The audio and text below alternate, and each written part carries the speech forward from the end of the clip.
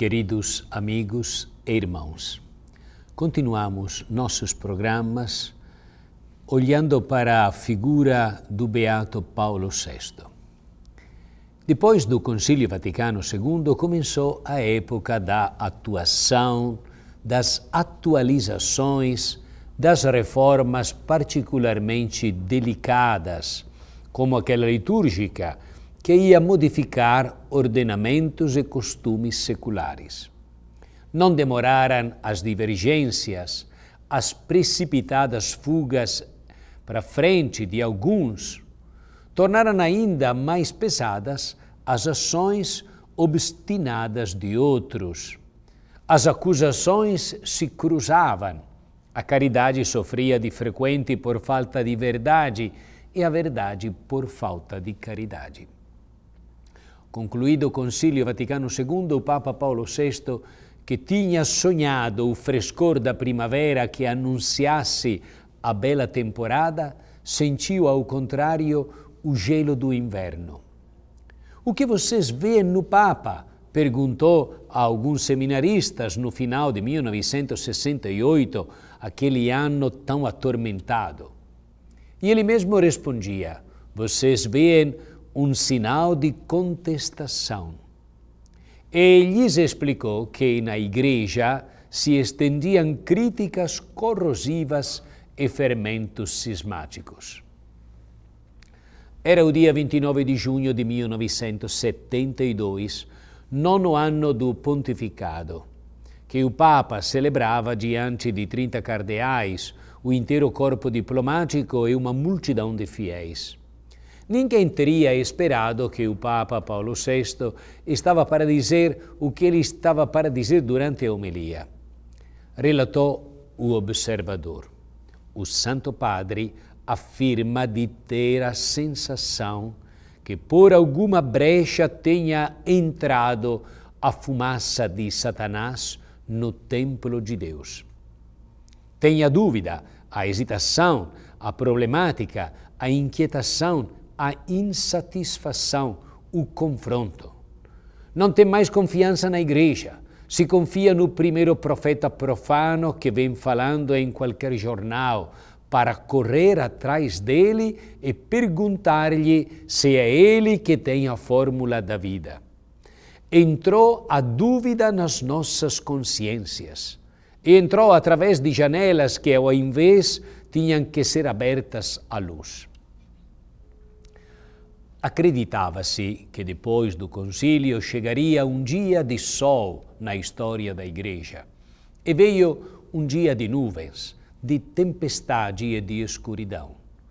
Foram muitos gritando ao escândalo, sobretudo porque tinha falado claramente do diabo e de sua ação destruidora na história. Alguns disseram que Paulo VI tinha se entregue ao desânimo e ao pessimismo, voltando a atitudes preconciliares ou até da Idade Média. Outros disseram que o pontífice reconhecia, enfim, ter se entregado de mau jeito à modernidade e ter conduzido a Igreja na beira da destruição. Ao invés, o Papa tinha concluído seu discurso recorrendo ao seu carisma da certeza aquilo próprio de Pedro e ao seu dever de confirmar seus irmãos na fé. A verdade era que naqueles primeiros dez anos do pós-concílio sublevaram-se à direita e à esquerda os mais subversivos. Em muitas comunidades cristãs tinham tentado experimentações selvagens no campo litúrgico, difundidos ideias e ensinamentos errados em campo doutrinal, moral e exegético. Tinham-se multiplicado as crises vocacionais, sobretudo entre o clero e os religiosos. Muitos pressionavam para que a Igreja decidisse novas aberturas e novas concessões. Outros, ao invés, invocavam negações abjurações e condenações. Ele não se sentia compreendido pelos uns nem pelos outros, e sofria.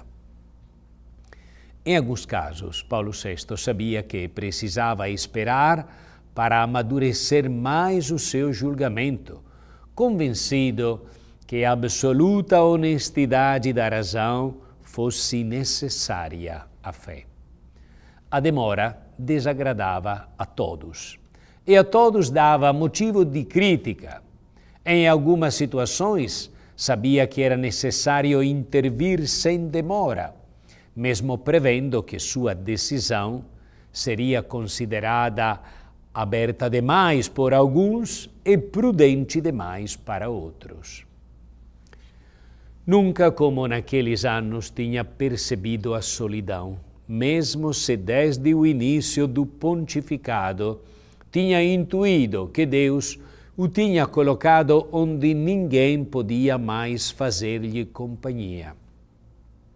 Porém, o magoava o fato que pensassem que ele tivesse incerteza sobre a verdade, enquanto suas demoras tinham somente dois objetivos: o cuidado da avaliação e a certeza que a verdade fosse transmitida com amor e por amor. O dramático equívoco de muitos consistia nisso que consideraram erroneamente sua busca como incerteza e chegavam à conclusão de poder, no fim, discordar das decisões tomadas. Somente quem compreendeu que Paulo VI tinha esperado, sobretudo para ter a certeza de transmitir a verdade com o necessário amor, compreendia também quanto vinculantes fossem, enfim, suas decisões por causa do cuidado paternal com que tinham sido amadurecidas. Assim, aqueles anos foram marcados por decisões sofridas, todavia afetuosas, mas também que lhe custaram caro. Foi ato de amor ciumento a encíclica Mysterium Fidei, com a qual quis proteger a intacta fé na Eucaristia, que muitos queriam reduzir a sinal cheio de significados, mas pobres de substância divina. Era amor, aquele creio do povo de Deus, até detalhadamente desenhado, que quis rezar sozinho, mas em nome de toda a Igreja em São Pedro, incomodando nem poucos os, um, os teólogos que o definiram um resíduo da antiguidade. Foi amor a encíclica Populorium Progressio, publicada no dia de Páscoa de 1967, chamada, por isso, a encíclica da ressurreição, exatamente 47 anos atrás. Uma encíclica que sacudiu o mortal egoísmo dos países ricos explicando que a tradicional luta de classe tinha se tornado já luta entre os povos e entre as diversas áreas do mundo. Todavia, estas palavras custaram ao Papa a acusação de ser um comunista e de justificar os sacerdotes revolucionários. E foi amor também sua resistência aos sacerdotes que pregavam a violência para obter a justiça, ou aqueles bispos que pretendiam fazer o próprio catecismo e reduzir a Igreja a uma confederação de comunidades. Era amor, sua indomável paixão ecumênica, que o levava até pedir perdão e a fazer gestos proféticos. Era amor o diálogo começado com os governantes do leste europeu, começado e mantido entre mil objeções, mesmo se desagradou a muitos bem-pensantes e alguns eméritos eclesiásticos que teriam preferido a condenação dos antigos perseguidores comunistas. Era amor a encíclica com a qual pedia aos sacerdotes de ficar fiéis ao próprio celibato. Era amor o longo e extenuante abraço com o qual Paulo VI tentou deter na comunhão eclesial Lefebvre e seus tradicionalistas que o consideraram um traidor. E foi, sobretudo, amor a muito contestada encíclica Humane Vitae, na qual repetiu a necessidade de uma antropologia integral do amor humano e, por consequência, a não liceidade da contracepção, desagradando inúmeros leigos e até sacerdotes e bispos, mas salvando de uma nova exploração os povos mais pobres do mundo. Aquele foi o momento de sua maior solidão e de seu abismal sofrimento. Mesmo dentro da igreja, organizavam-se grupos de protestos, multiplicaram-se as declarações de rejeição.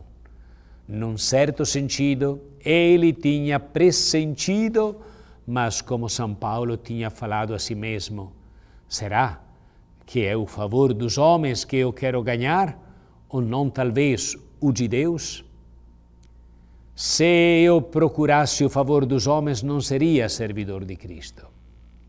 E a partir daquele fatídico ano da humane vite, Paulo VI sentirá cada vez mais crescer no seu coração o amor para a Igreja e para todos os homens, mas o verá diminuir ao seu redor nos últimos anos de sua existência.